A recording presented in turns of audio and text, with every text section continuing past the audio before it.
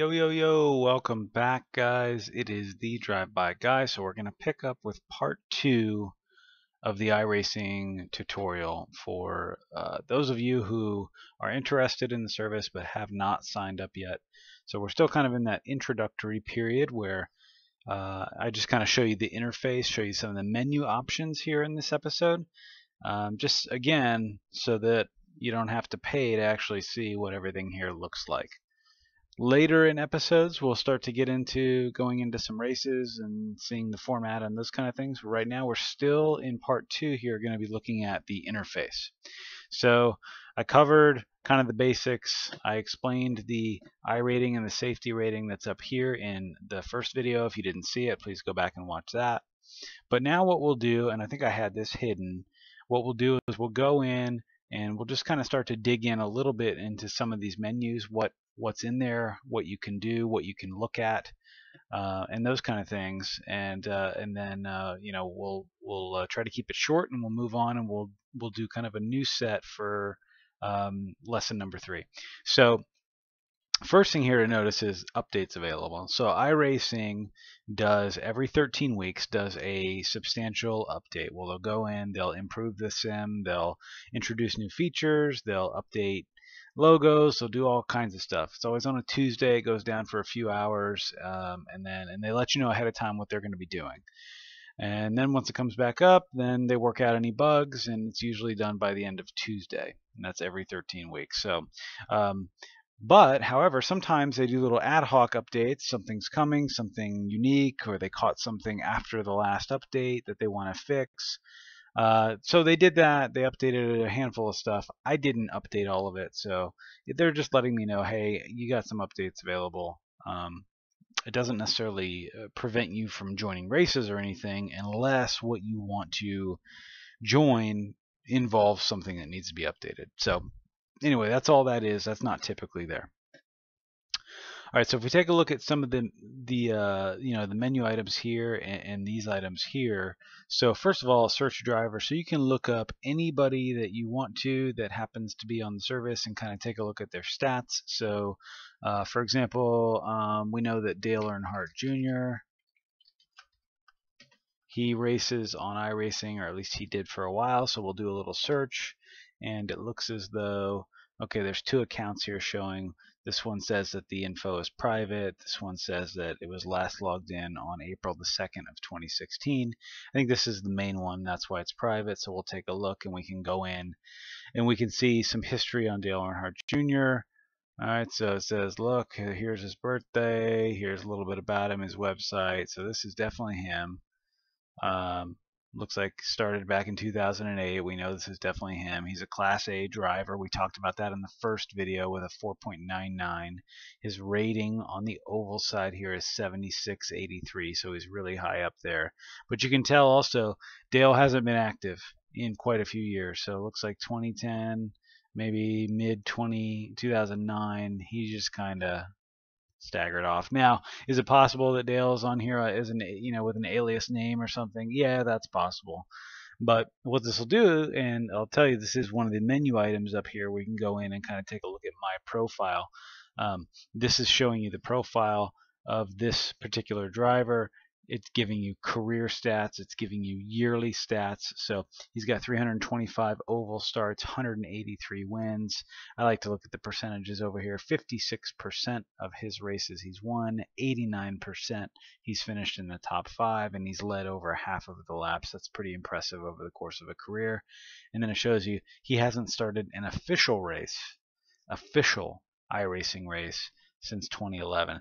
That's not to say he hasn't come in and done some private stuff or uh, things like that that aren't official racing, and we'll get into that uh, in a future video. And then it shows you their last 10 races and what they did. So looks like the very last race that he ran that was an official race was at Talladega on April the 6th of 2011. He started first, he finished first. He didn't have any incidences at all. So anyway, that's what happens when you search a driver. It basically gives you a whole background on them.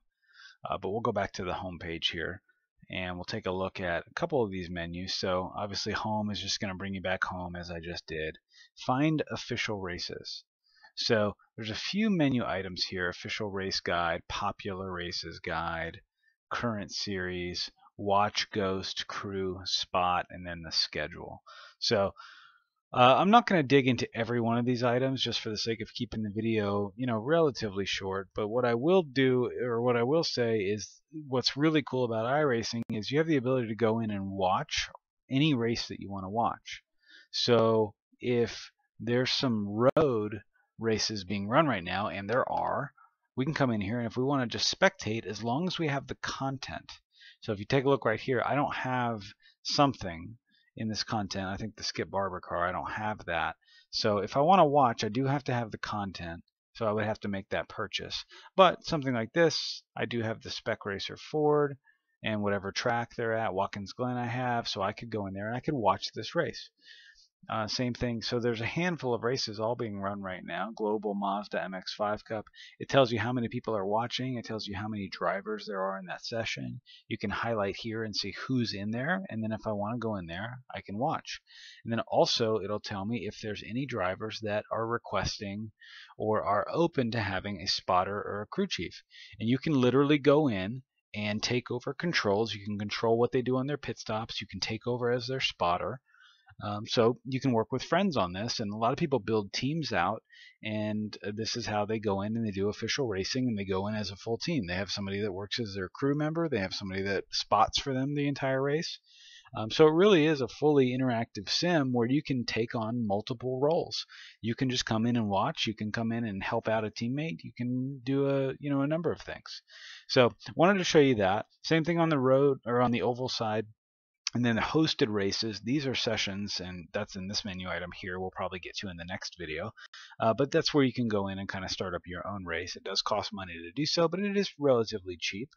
So uh, that's what those are. You can go in and look at hosted races and then also league races. There is an official league system, and that's another menu item that we'll get to in another video.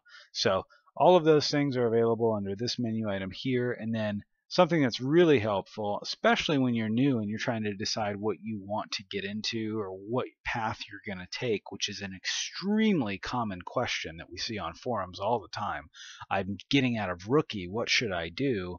Well, one thing I always recommend, let's take a look at the schedule. And iRacing does a good job of making the schedule available to everybody so that you can know exactly what you're getting into. So let's say you say, you know what, I'm on the oval side and I've decided that what I'm going to do is I'm going to get into the national series.